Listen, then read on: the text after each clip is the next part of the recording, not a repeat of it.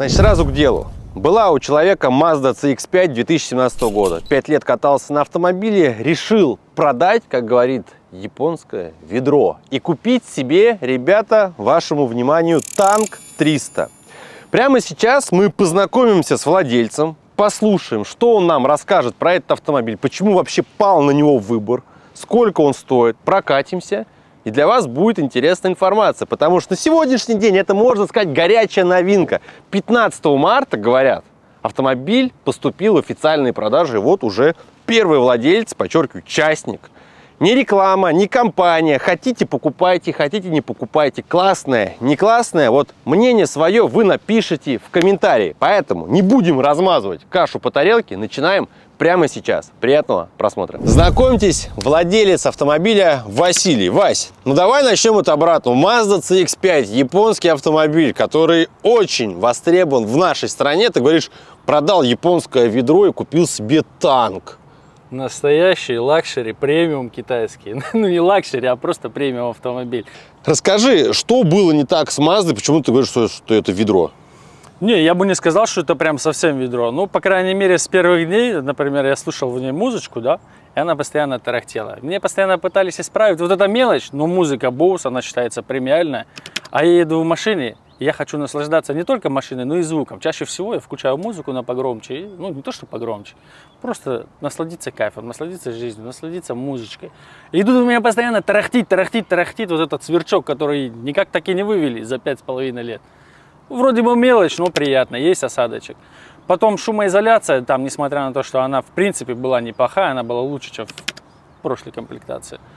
Здесь она стала получше, но с, даже с этой машиной, со стоковой э, шумоизоляцией, она не сравнится. Здесь просто потрясающая уже заводская шумоизоляция. Это тоже меня зацепило.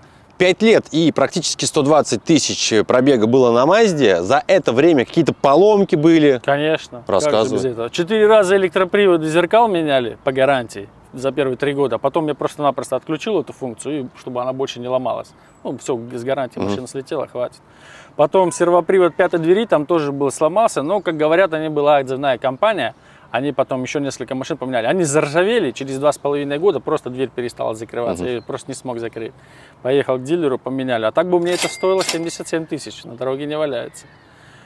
Потом что еще? А все остальное там все идеально. Все четко, только воду заливал. Больше я ничего не знаю. Mazda на самом деле потрясающий автомобиль. Вот так вот, если разобраться, ну, в плане, что, движения, блин. Значит, про Мазду мы кашу по тарелке размазывать не будем. Прекрасно вы все помните, что я про нее снимал огромное количество серий. В свое время на них облазили колесные диски, меняли ролик ремня натяжителя по гарантии, у людей облазили рули, плохое качество кожи, сиденья, тоже плохое качество кожи, облазили, это все менялось. Были ситуации, мы снимали, и до сих пор люди пишут, что коробки нагибались. Но в целом машина хорошая, востребована.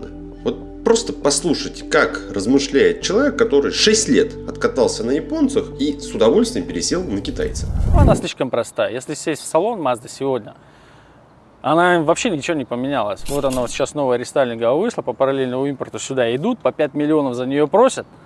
Ну, по-моему, это перебор, мне кажется. Не знаю, как вы считаете. Таким образом, ты продаешь автомобиль, при этом, владея им, ты уже начал присматриваться к автомобилям. Вот давай пробежимся, на какие машины ты смотрел? Два года я уже присматривался. Сначала я смотрел на Джили Тугела, она меня очень зацепила, вот эта китайская стаса. Я только уже к китайцам присматривался. Не знаю почему, ну, как-то конъюнктура к ним что ли шла. Во-первых, цены были более-менее тогда еще адекватные. А потом цены вообще полетели в космос и просто-напросто на европейские бренды, на немецкие, японские. Просто перестал смотреть, ну, цены улетели реально в космос. Что там выбирать за эти деньги сейчас? Угу. Прадик ближайший в 7-8 миллионов, 4-литровый, если выбирать, да. Потом Mitsubishi Pajero Sport, они подешевле, но она слишком простая. Хотя, по сути дела, это тот же Mitsubishi Pajero Sport, только в китайской обертке. Угу. Возможно, даже и двигатели это их не до сих пор, потому что Great Wall с ними очень тесно сотрудничали еще в Китае, и до сих пор сотрудничают, насколько я знаю. Чанган Юники выбирал, тоже не понравилось, не то, что не понравилось, мне не понравился подход официальных дилеров, потому что машина пришла по РРЦ 3550, там 3570, да, я пришел в салон, говорю, все, я пришел за машиной. У меня озвучивают цифру 4900 угу. за допы. Я такой, что тут перебор, а почему по РРЦ-то нельзя, ну хотя бы там плюс 100, плюс 200. За наличку только так. Кредит, трейдин, базара нет, мы, может быть, там до 400 мы опустим. Ну, в итоге я развернулся, ушел. И перед самым Новым годом, значит, когда я уже услышал о презентации танка в России, я понял, что больше искать ничего не надо. Во-первых, мне понравилось название машины. Это первый китайский автомобиль с нормальным названием. Они просят его называть танк, а мне нравится танк. Да и все его будут называть танк. Друзья, ну согласитесь, в обилии этих привезенных автомобилей сегодня глаза разбегаются. Плюс ко всему, вторичка, та же самая история. Начинаешь читать объявления, все идеально, не бит, не крашен, хранился в гараже, пылинки сдувал, машина выходного дня. Знакомо вам такое? А мне еще нравится, когда пробег 300 тысяч, состояние около новый. Вот, привезенный автомобиль. Японец из Арабских Эмиратов. Как вы думаете, в каком он состоянии? Может быть, капот крашен? Язык вот проверяешь. Так неправильно. Значит, смотрите, вот в кармане за хвостик тянем, и у нас появляется прибор Корсис толщиномер. Профессиональный прибор для автоподборщика. Я вам про него уже неоднократно рассказывал. Он работает из коробки, все, что нужно, включить и проверить. Доверяй, но проверяй. Смотрим. Капот. 245, 243, 250.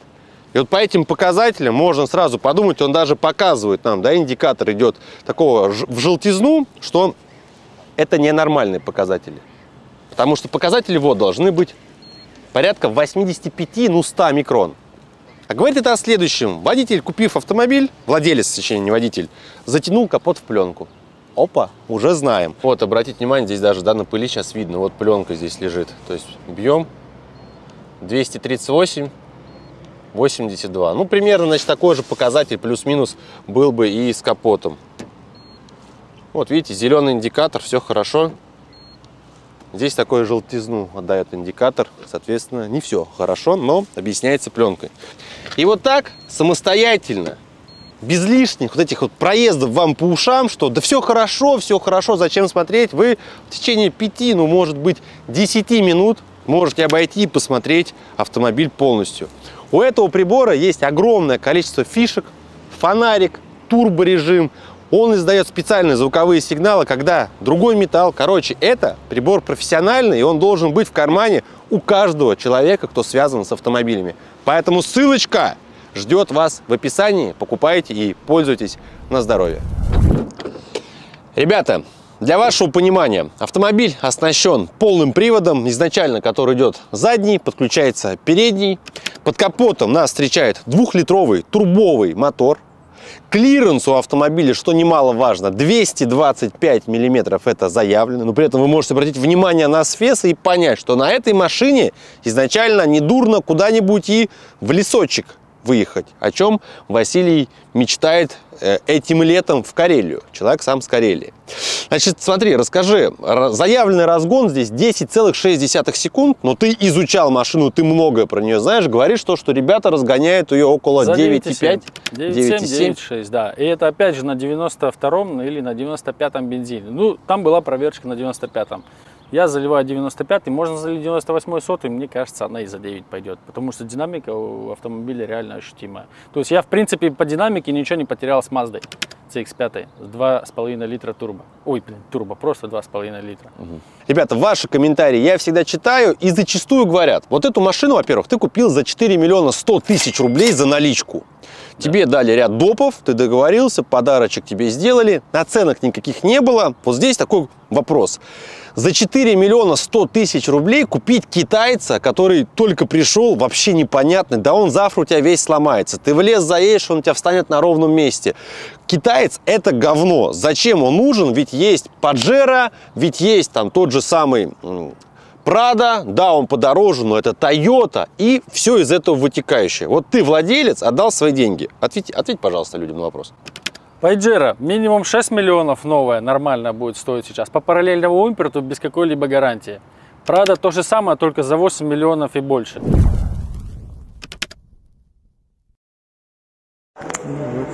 Стоит в салоне. Бэушники продается. Ну, как тебе, Дим? Заехал посмотреть. Ну, грязно. Как поведет себя э, этот автомобиль с точки зрения технической части, я уверен на 95%, что наверняка у него какие-то болячки в дальнейшем обнаружатся. Какой-то заводской брак будет. Но посмотрим. Люди будут кататься, эксплуатировать, делиться своими отзывами. До всего этого мы дойдем с вами в будущем. Ну а мы двигаемся дальше. Оснащение китайцев, но это, как всегда, жир. Смотрите, круговой обзор есть. Оптика, ну, само собой, диодная есть. Противотуманки диодные есть. Парктроники есть. У тебя в данной комплектации с завода идут пороги. Обратите внимание, да? Ну, бесключевой доступ тоже есть. Рейлинги есть, но в нашем случае, подчеркиваю, это самая топовая комплектация. И когда ты подходишь к автомобилю так вот за ручку, да, берешься, ну, реально такой брутальный мужской автомобиль. Чем-то он похож, ну, лично мне, знаешь, так вот по кузову немножко на Хаммер. Ты отмечаешь то, что Вранглер, джип. Но вот тебя что в нем подкупило больше? По внешнему виду, по интерьеру? Знаешь, я еще рассматривал Ford Bronco до него. Тоже вот как вариант, ну, совсем маленько. Единственное, что на Ford Bronco цена была там в районе 6 миллионов и пошло-поехало далеко вперед. Поэтому он тоже отлетел. Во-первых, параллельный импорт, Америка. Как бы не хорошо, не плохо, но Цена, цена, все в цену упирается. Народ голосует рублем, не забывайте. Да, да, рубль, самое главное. Когда я пришел у нее в салон вживую посмотреть, я увидел вот этот оранжевый цвет, вот эти круглые глазки, и она мне говорит, Васька, Купи меня, Васька, купи меня. Ты понимаешь, это такая яркая, четкая, красивая машина. Где сегодня такую найдешь? Я не знаю, нигде не найдешь. Друзья, обратите внимание, колеса сами-то по себе 17 это немаловажно, но какая, какой профиль шин идет мощный. Возможности для хода подвески большие. Передняя подвеска здесь идет на двойных поперечных рычагах, а задняя независимая, многорычажная. Ну, передняя тоже независимая. Ну, присаживаешься, Вась, ты в машину, трогаешь ее за руль, за селектор переключения передач. Что вот по материалам скажешь? Сел за такой прекрасный, красивый руль. Даже вот здесь они умудрились вроде бы строчку сделать еще, но она приятная. Эмблема танка, она красивый, четкий руль. По-моему, он от Хавейл Дарга, возможно, врать не буду, не знаю. Вот эти дефлекторы. Мелочь, а приятно. Да, где-то кто-то говорит под Мерседес, я в Мерседесе никогда не сидел, слишком мало зарабатываю для этого. Ну, это красиво. Вот эти часики, мелочь, а приятно. Мониторище огромный, да? Сколько там дюймов? 12,3, по-моему. Ну, он огромный. Вот поставим рядышком телефон мой, да, и вот этот вот один будет монитор. Ручка селектора передач. Да я первый раз в жизни вообще, когда ее увидел, я просто офигел. Это просто что-то из фильма, не знаю, «Звездные войны». Она реально необычна. Блокировки Очень у тебя какие-то есть, да? подключается, да. Слушай, вот ты ключевой момент такой обронил фразу, что когда ты сел в этот автомобиль, это для тебя что-то действительно новое. Очень Архитектура новое. салона новая, да? Очень, Само да, оснащение да. автомобиля. Красиво, все это зацепило, вот эта строчка, вот эта аккуратность, мягкий, вот этот приятный, то ли пластик, то ли кожа, я не знаю вот этот вот, он не марки пластик, это не глянец вот этот, как с корейцев, там немерено было, в Мазде у меня тоже был глянцевый, уродливый пластик, который меня просто раздражал. Здесь его, по-моему, нет вообще, кроме монитора глянцевого, его протер тряпочкой и все, и забыл. Вот эта шкурка нежная, вот это реально, вот это, блин, напа, вот это как в Мазде CX-5 Executive, только там такую делают, а в Супреме нет, у меня было Supreme максимальной комплектации нет. Вот они, смотри, молодцы, как постарались, да. Даже вот здесь вот прошили какую-то штучку тоже из кожи, да, это тоже красиво, это тоже детали, это мелочь. Ну, в 400 миллионов что сегодня купишь? А если сесть в Прадик, а я сел в Прадик, посмотрел, я же как раз там был, в на острове посидел, я вру, я не посидел, я открыл дверь и хлопнул ею. Ну просто невозможно было. Хочется за эти деньги, там за 8, за 9 миллионов, что-то более или менее красивого, приятного. Ты каждый день будешь сидеть в машине, управлять ей, и будешь смотреть в этот старый допотопный монитор, который там тысячу лет ему и графика там какая. Ну да, зато надежно. Ну надежно, надежно. Я не думаю, что эта тачка ненадежна. Она такая же самая надежная, как и любая другая новая машина, сегодня продающаяся у нас на рынке. Гарантию свою они отъезжают вообще без проблем. Что китайцы, что корейцы, что японцы, без разницы. У Васи двое детей. Дочка два года и сыну сколько? Восемь лет. Восемь лет. Вот смотри, за тобой садится дочь в кресло детское. Дальше сын. Как по месту после Мазды, сзади после пространство? Мазды единственный нюансик, да, здесь дверь открывается не так широко, как в Мазде. В Мазде там угол открытия был чуть побольше. Но зато перестала меня пинать дочь. Так. заднее сиденье, потому что в Мазде у меня оставалось буквально там 15 сантиметров, ну вот столько за моей посадкой. Здесь у меня прибавилось целых ну, 15, не знаю, сантиметров точно. То есть им здесь комфортно, им здесь удобно. Они сидят выше, это тоже плюс к безопасности. Сын что говорит? Вот А сын, сел в вообще, машину. Сын вообще кайфанул. Он говорит, папа, у нас танк, и это очень круто. Я своим пацанам всем похвастаюсь, теперь у нас танк. Говорит. Жена, жена, когда ты приехал, Жена Mazda довольна. CX-5, красивая Жена машинка. выбирала, в принципе, вместе с сыном. Я-то хотел, может быть, и серенькую, или беленькую взять. Ну, жена говорит с сыном, давай возьмем яркую, красивую машину. Вот, вот, друзья, видите вот эти детали? Когда я пришел у нее в салон вживую посмотреть, я увидел вот этот оранжевый цвет, вот эти круглые глазки, и она мне говорит, Васька, купи меня, Васька, купи меня. Вася пришел в салон, стоит оранжевая. С женой пришел в салон, стоит оранжевая, поэтому берем ее. А так-то я-то хотел бы серенькую. Ну, друзья, все мы люди семейные, с мнением жены нужно считаться. Супруги на пассажирском сиденье как? Кайф. По Кайф. сути дела, то же самое, что и в Мазде, она говорит, ничего не потеряла. Мгм. Единственное, что да, обзорность выше стала, комфорт то же самое, что и с Маздой, абсолютно один в один. Слушай, что по ценам на каско? 86 тысяч рублей, но с учетом того, что мы страхуем машину на полный срок, то есть весь год, если в случае ДТП, нам выплачивают полную стоимость. А, с Это выпаска с гапом, да, короче, с я понял. фиксированной вот Мгм. этой суммой, она обошлась нам в 105 тысяч рублей. А ты смотрел, почем вообще ТО, там первое, второе, третье? Слушай, еще не смотрел. Егор, который продавал мне этот автомобиль, сказал, через пару дней выйдет вот эта вот ерунда, как прайс, он Мгм. мне его отправит. По задней части, вот смотри, какой у тебя здесь интересный багажник. Друзья, зацените. Колесико запасное, нажимаем на кнопочку, открывается у тебя дверь, ну как на Прада, по факту. Вот какие-то элементы от китайцев. Для меня это, Дима, очень удобно, на самом деле. Я правша, вышел с машины, зашел, взял инструменты, тут же закрыл и пошел по своим делам. То, что На парковках возле торгового центра, да, там, ну, вообще в целом, говорят, там машина, когда стоит, неудобно, то есть удобнее, когда наверх крышка. Ты что скажешь? Вообще никакого, вообще ничего не напрягает. По поводу самой вместительности багажника то же самое, он такой же, как в Мазде, только единственное, что теперь можно под потолок без проблем накладывать. И никакой шторки снимать не надо, ее здесь нет. Вась, вот расскажи, стоя здесь, чем ты вообще занимаешься, где ты работаешь? Мебель собираю, монтажник. Ага. Вот люди посмотрят, скажут, монтажник, мебель, э, машину купил за 400, подчеркиваю, без кредита. Как такое возможно? Первое и самое главное, это надо не пить и не курить. Я вообще не пью, не курю вообще никогда. То есть до 20 лет баловался, в 20 лет завязал и все. То есть на этом только я сэкономил в год, ой, в год за 10 лет по миллиону рублей. Нар- Ну, нормально ты считаю, так пил, гулял. За 10 лет миллион рублей экономия. Плюс жена тоже не пьющая, не курящая мне досталась. В этом плане мне тоже очень сильно повезло. И она миллион сэкономила. В итоге вот 2, 2 миллиона купили Мазду в свое время. Да, да, может быть там маленечко кредитнулись, я помню, было дело. Ну, быстро с этим кредитом рассчитались. А потом все как-то научились с- пользоваться деньгами, научились считать деньги, перестали брать кредиты совсем. Ну что, по-живому присаживаемся и отправляемся сейчас на наш мини-тест-драйв. Друзья, ну, первые жирные плюсы. Садишься в машину, подножка, высокая посадка, это, безусловно, комфортно. Вот седанчик, нет-нет, да, надоедает вот это вот. Садишься вниз, в машине сидишь хорошо, но здесь прям вот ты сверху, все ты видишь, это шикарно. Понятное дело, что в силу клиренса и того, что автомобиль высокий, как бы Вася не говорил, что он там хорошо рулится, по нему чувствуется, что машина такая вот, она валкая, она идет. То есть, ну, смотри, мы начинаем влево-вправо крутить, и мы уже... Паджерике.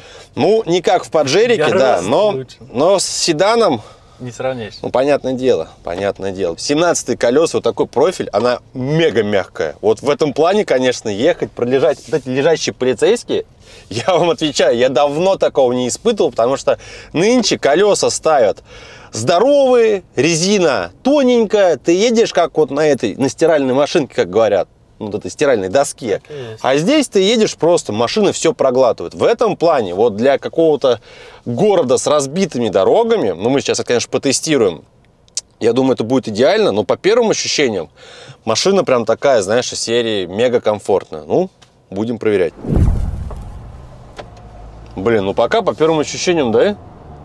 Вот по дороге она прям реально плывет. Вот в силу вот этих колес здоровых с таким профилем 65. шин. Да, ну, друзья, это прям давненько я такого не видел. Это прям какое-то удовольствие. Ты вот садишься в автомобиль, тест-драйв какой-то проходил, или ты как его купил? Просто Слушай, по визуалу? Нет, я, во- во-первых, я пришел по визуалу, во-вторых, я пришел в салон, и у них как раз только что поставили белую машину по тест-драйву. Я прокатился просто по... У них там по площадке, я даже на дорогу никуда не выезжал. Все, я сразу понял, моя тачка надо брать. На. Мгм. Вась, вот эти вот разговоры, китаец, китаец, вот тебя как-то вообще смущает Вообще страна никак. там, кто Вообще придумал никак. машину? Знаешь, есть такой Дима, как он называется-то в интернете? Дима, который заминированный тапок. Так, Все по ую, все по Буква бую. Ю. Вот так вот. Мне пофиг на чужое мнение абсолютно. У меня есть свое мнение, и оно правильное. мгм. по расходу топлива что скажешь? Ты знаешь, ну там можно включить, посмотреть сейчас. Больше 14 ни разу не показывала. Езжу Москва город. То есть. Москва, трассы, Москва, трассы. Где-то 60% по Москве и 40% по трассе. Иногда чуть больше. Короче, друзья, по всем ощущениям, как вот машина себя ведет, ну, полноценный такой хороший внедорожник, в силу того, что в углы, ну, в повороты затяжены, то есть лучше на большой скорости не заходить, то есть все равно, как бы после, ну, седана и там автомобилей типа Audi, BMW, Mercedes, он себя ведет иначе. Эта машина помягче. Но при этом на этой тачке, вот мы сейчас едем, к примеру, мы могли бы, дай вот камеры просто покажу, мы могли бы сейчас тормознуться, заехать сюда и куда-нибудь туда в дебри поехать, покататься, но этого делать мы не будем, потому что Придерживаемся в первую очередь, да, правил дорожного движения, вот этой ерундой не занимаемся. Опять же, как бы ты ни говорил, что эта тачка там вот в лес куда съесть, мне кажется, жалковато. Ну ни хрена себе, 4 миллиона 100 тысяч, и потом еще где-то на ней кататься, а не дай бог где-то чем-то зацепиться, ну не знаю. Опять же, вот такие цифры на сегодняшний день. Вот так вот стоит машина, 400. Но подчеркиваю, это комплектация премиум, самая заряженная, жирная и Опять же, вот они реалии города стандартно. Когда мы не снимаем, как мы не поедем, постоянно все стоит. Как бы трафик в Москве довольно-таки плотный. Вот по фишкам, по управля... по, по нафаршированности. Сама может ехать? Да? Какие у Интеллектуальный есть? круиз-контроль включил. То есть она будет сама останавливаться? Сама останавливаться, сама набирать скорость, какую установишь максимальную. Дистанцию можно выставить перед машиной. Но при этом, я смотрю, контроля слепых зон нет. Нету. Ну слушай, а зеркала настолько огромные, что, по-моему, она, эта функция Мгм. здесь реально не нужна. То есть, когда я вижу в зеркале хвост машины, да, то здесь она уже вылезла на всю половину. То есть Мгм. за глаза хватает этих зеркал. Реально широкие, они скругленные, поэтому проблем нет. Друзья, обратите внимание, что у нас, э, получается, идет подогрев лобового стекла, ну, само собой, подогрев сидений, зеркал, руль с подогревом. Вентиляция обязательно. Вентиляция, ну, да. короче, топ, жир, все, что хочешь есть. Отличная приборка, то есть смотришь на ну, скажите, ну что, китаец? Вот по внешнему виду, как вообще графику нарисовали, ну, кореец современный, вот как Да Kia корейцы, делают. по-моему, хуже. Я в корейцах сидел, выбирал тоже среди них. Вот здесь тоже интересно Ага. сделано. То есть, ну, в целом приятно. Да, и согласен с тобой полностью, что вот эта фишка, когда э, не глянется, а вот так сделано, это гораздо это- лучше. Гораздо лучше. Это супер, это практично. Да, а то покупаешь машину, оно вроде бы блестит, и через неделю оно Через уже неделю все. все, она в уже. И вот эта ручка, ну реально как гелик, вот чем-то похоже, вот это вот, да? Ручку обшили кожей. История. Представляешь, они постарались как настолько круто. Да, по-моему, это реально шкура нафиг. Вот это да. Блин, ну по ощущениям, да, и так все в принципе добротно сделано, что вот тут, тут вообще ничего не гуляет. На некоторых машинах японских возьмешься, тут все ходит, там все ходит, здесь даже никаких щелей нету. Ну, по ощущениям норм. По, по ощущениям, я так скажу, по ощущениям рекламный обзор. Таки занесли денег. Таки дали денег, предоставило представительство автомобиля, актера. Вот на самом деле, когда смотришь обзоры на разные тачки, когда слышишь название, что появился там новый автомобиль, танк, там, C300, еще что-то, э, ну, в первую очередь думаешь, ну, опять какой-то китаец. Но когда ты садишься за него вживую, да, вот ты прокатился, почувствовал его, иначе все смотрится. Даже те же самые более простые версии, там, Черри, например. Я помню, как-то приезжали люди, ну, вот частники стоят, ты с ними общаешься. Доволен машиной? Да, да вот, смотри, вот это есть, то есть. А у меня на предыдущей версии там какой-нибудь кореец был, такого не было, этого не было. А тут есть. И машина дешевле. То есть, ну, в совокупности все. Смотрите, в поток выходим, газку в пол с 20. Не сказал бы я, что он срывается, но опять же, у машины и э, вес 2, 2 200. тонны 300 там что-то 200. килограмм, 200. Но это тоже не хухры-махры. Нас три человека в машине, багаж лежит. То есть для города, то есть 0,60, 0,80, там 20-80 она набирает вполне. На трассе, ну это не для того, чтобы там 200 на ней лупить, вы должны это прекрасно понимать, эта машина больше вот Для семьи, для нормальных, здоровых людей. С головой на плечах. Не для гонщиков тачка. Ну, рассказывать вам о том, что у китайцев все отлично с графикой, это пустая трата времени. Сами смотрите. Включил заднюю, круговой обзор. Все видно, понятно. То есть во дворе или где-либо на такой машине, несмотря там на ее габариты, парковаться будет одно удовольствие. Так ты еще расскажешь, какая-то фишка есть. Ну, танковый Танковый. разворот есть Это как для понять? леса. Реально, когда очень в крутой поворот заходишь, Ну, маневрировать между деревьями приходится, включаешь, соответственно, драйв, полный привод, и только потом танковый разворот. Ну, давай, Это включи. надо смотреть. Так, 4H, Так. блокировка задняя и танковый разворот. И что теперь будет? Драйв, драйв надо включить, и, Ну, соответственно, драйв поворачивать, она будет подтормаживать заднее правое колесо или левое колесо, в зависимости от того, в какую сторону ты поворачиваешь. А, и то есть в таком ключе, короче, у нас как бы угол поворота. Да. Да, я чувствую, что она Да, прям держит. Да, да, да. Хера себе. Короче, поняли? По лесу ты едешь, и вот там маневрировать начинаешь, казалось, тачка большая, но при этом у тебя есть такая фишка, то, что она тебя как бы чуть двигает. Ну, пацаны, что скажете? Вот для мужиков вот такая, это как вот, я не знаю, там как игрушку, если купить, и когда у тебя денег до хрена, да нифига себе, почему нет? Многие покупали Land Cruiser вот эти, там базовые версии, для того, чтобы на рыбалку на них ездить, на охоту, переделывать. Вот. Ты мало того, что ты едешь в ней как человек и по городу, и куда-либо, так у тебя фишек полно, и вот эти вот истории, ну, тоже по-своему интересны. Блин, ну ты меня, конечно, удивил вот этим вот танковым разворотом, блин. Еще есть какие-нибудь похожие фишки? Вот что-нибудь такое необычное? Прикольные? Да. Ну, слушай, да нету больше ничего. Понижайка только есть. Не, ну в целом тут и так, набор Ну, опций неплохой. Просто из любой каши выберешься. Да и больше ты ничего, ничего такого удивительного. Давайте вот такой блиц вопросов стандартных. Вот ты купил себе китайца, который только-только появился на российском рынке, да ты его потом не продашь. На вторичке он никому будет не нужен. Твое мнение по этому Ну, поводу? это же ерунда, мы сами знаем. Залезем сейчас сегодня даже на вторую, посмотрим, почем продают трехлетние машины. Продают за те же деньги, а и даже дороже на сегодняшний день. Поэтому лапша. Китай, Китай, Китай, это хрень. Лучше бы купил себе корейца, лучше бы купил себе японца и прочее. Немецкая машина тоже хорошо. Твое мнение? Не лучше, потому что, во-первых, сегодня тебе без гарантии продают, да? Гарантия доброй воли, там один год или полгода, 60-50 тысяч пробега, ну это ни о чем просто-напросто. Поэтому я купил тачку с гарантией и доволен. На 3 года, на 5 лет, скорее всего, она будет именно такой. С точки зрения того, что машина совсем новая, и в наших реалиях ты, можно сказать, будешь одним из первых проходцев, не страшно ли на себе нести такую ношу 400, а вдруг что, а вдруг машина говно окажется? Ну вот, Да нет, ничего, вообще не страшно. Во-первых, курс полетел снова вверх, сейчас небось и цены, как ты уже, Дима, сам заметил, пойдут вверх, поэтому, если что, продам за те же деньги, как минимум. С точки зрения эксплуатации вот такого автомобиля в городе, то есть действительно большая машина, во дворе парковаться, куда-то заезжать. Вообще без проблем, без каких-либо. Я на ней себя чувствую комфортнее, чем чувствовал себя в Mazda CX-5. А что сегодня брать-то? Я вот так вот, если посмотреть. Опять же, все зависит от бюджета. Если у тебя есть 10 миллионов, почему нет? Бери себе Cruiser Prado или там, э, что там у нас есть, Cadillac Escalade. Что хочешь бери. Все дело вкуса. Если у тебя денег 4 миллиона, бюджет ограниченный, то тут надо присмотреться, опять же, зачем тебе машина. Если ты тут катаешься только по городу, то, наверное, тебе кроссовер, либо что-нибудь универсал.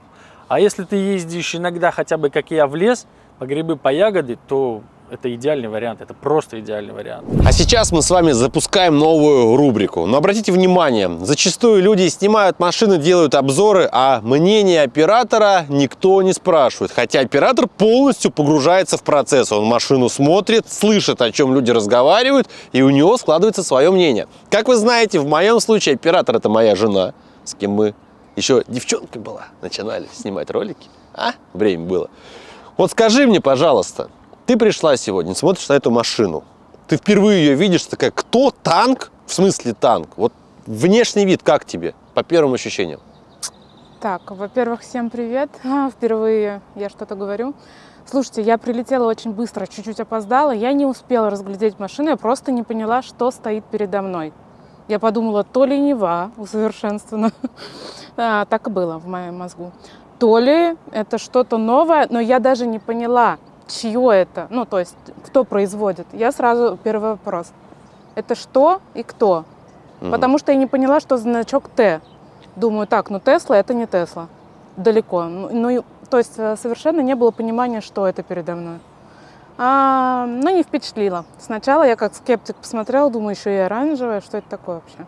Так, ну тебе вот изначально как бы внешний вид, ну, что-то необычное, но так себе.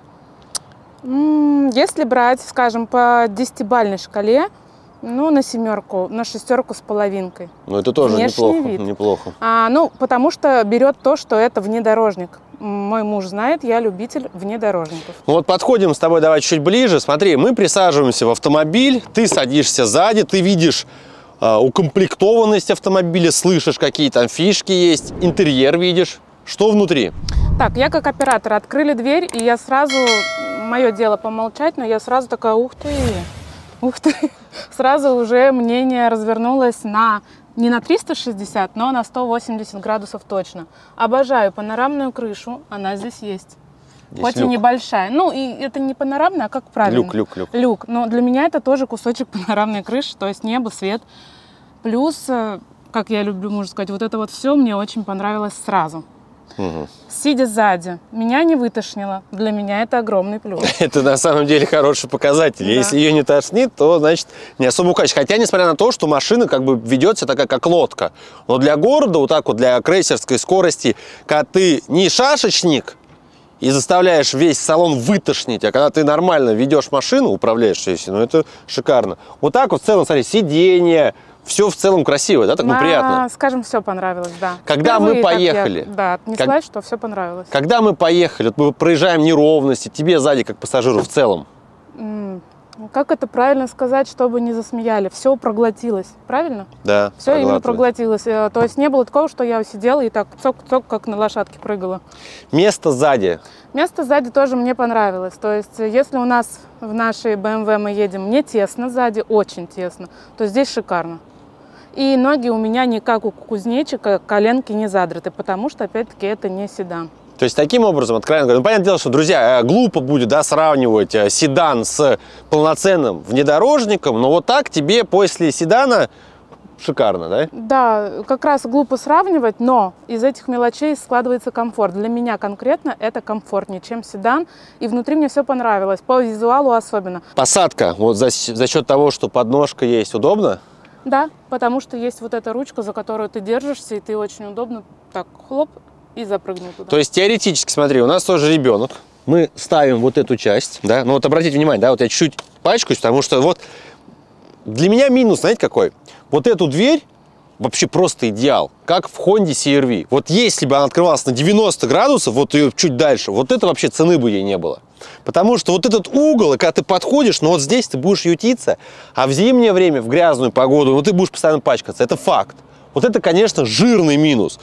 А если бы чуть как вот они продумали бы, ну вот, чтобы здесь побольше было места и дверь открывалась бы, это вообще дело. Потому что когда я тестировал Хонду, когда я еще там месяц на ней ездил, казалось бы, ну что такое, ну дверь на 90 градусов, и чего? Вот, ну так, ну будет она чуть больше. Это просто вот такой жирнючий плюс сразу. Смысл? Садясь сюда, вот я сажусь за Васей. Вася плюс-минус ростом мы там одинаковые. Место вагон, ну реально. Ребенок, все, можно ехать. То есть, ну, друзья, блин, честно вам скажу, честно вам скажу, никогда бы не думал, что будут мысли посматривать на китайцев и задумываться, так же думать, ни хрена себе, а чем она хуже, например, какого-нибудь корейца. Ну, есть корейцы, там есть японцы. По мне, лично мое мнение, что Китай, что Корея, вот, нос к носу идут. В чем-то китайцы уже выигрывают. Ну, корейцы, опять же, завоевали репутацию. Их больше любят, к ним больше доверия, сегодня это факт. Но это сегодня. А завтра, послезавтра посмотрим. Короче, вывод. По десятибальной шкале внешний вид, интерьер, как машина ехала, вот. Ты видела простор багажника, оценка.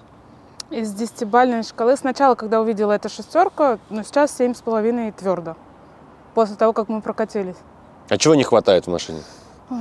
Не знаю, наверное, я бы кузов изменила. Ну, то есть э, кузов. Вот из чего мы пришли к выводу, что сначала было 6,5 из-за кузова. Это не мое. Может, это мужское, брутальное, не мое. Ну, короче, более такое Внутри мужское, она мне брутальное. больше понравилась. По комфорту, по то есть интерьеру все класс. Снаружи она меня отталкивает. Мы приближаемся к логическому завершению, и нам остается сделать выводы. Ну, я уверен, будет ответ первый в комментариях, мол, 400 это дохрена. Ну вот, пожалуйста, человек заработал, семья заработала, купила. Вы посмотрите просто, какие цены по Москве на все. Недвижимость, какие машины ездят, ну, скопление людей, у кого есть бабки. Такие же люди бывают и в регионах. Естественно, мы снимаем, показываем сюжеты, где люди совсем с другим достатком ездят на других автомобилях. Ну, вот такая жизнь. Везде она разная. Честно скажу, когда он ехал, я вообще, вот я слышал, что вышла машина танк, ну, естественно, название громкое, бросается в глаза, 300, ну, что она из себя представляет, я не знал. Он приехал, внешний вид, я местами соглашусь, что, что это прям действительно такая брутальная машина, вот прям под мужика. Ну, по внешнему виду прям так оно и сделано. Но когда мы сели, когда мы прокатились, я серьезно говорю, я немножко охренел от того, что ну, это прям мега комфортная машина. Это мега комфортная машина. То, что она тебя не жмет, не теснит, ты садишься, все классно. Прада здорово, но 4-литровый в хорошей комплектации, ну, Вася так и говорит, ценник будет совсем другой. А вот за 6, за 7, что тоже космос, это будет 2,7 бензин, который, мама дорогая. Почему сравниваем с Прадо? Ну, с чем еще? Давайте, Махав.